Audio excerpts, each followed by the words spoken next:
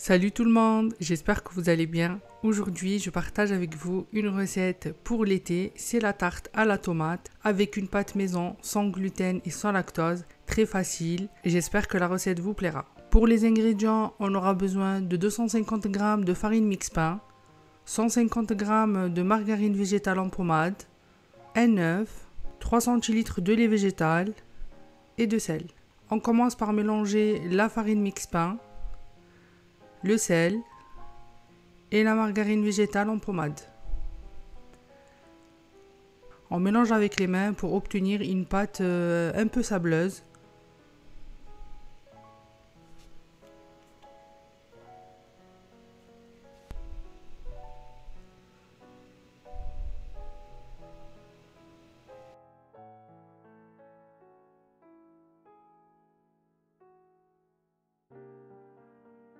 Ensuite, j'ajoute l'œuf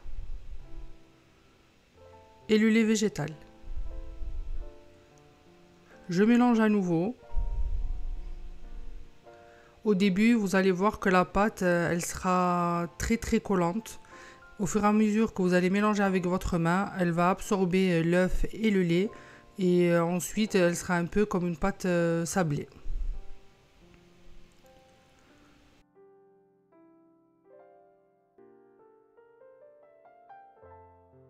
Moi, ce que je fais, je la mets sur du papier cuisson. Euh, ça me facilite la tâche.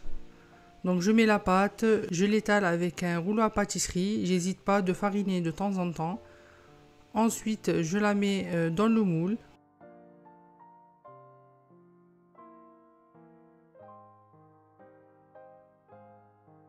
J'ai coupé l'excès du papier cuisson qui me dérangeait.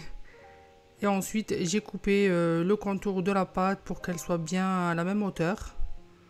Et ensuite, avec mon doigt, j'ai fait une petite déco pour rappeler euh, le côté tarte.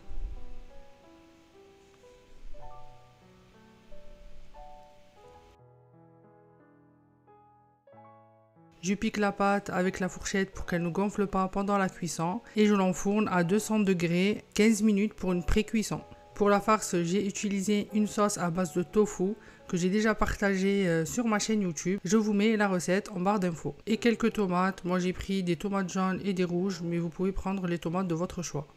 Après la pré-cuisson, euh, je mets euh, la sauce en fond de tarte.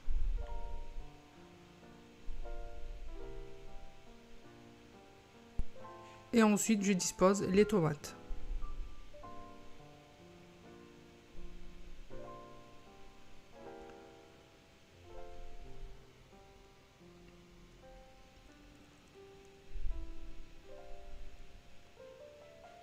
Dès que c'est fait, j'enfourne à 210 degrés 30 à 35 minutes.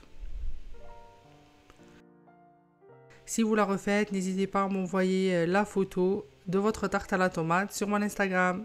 J'espère que la recette vous plaira. N'hésitez pas à liker, à vous abonner et à me suivre sur mon Instagram. Ciao ciao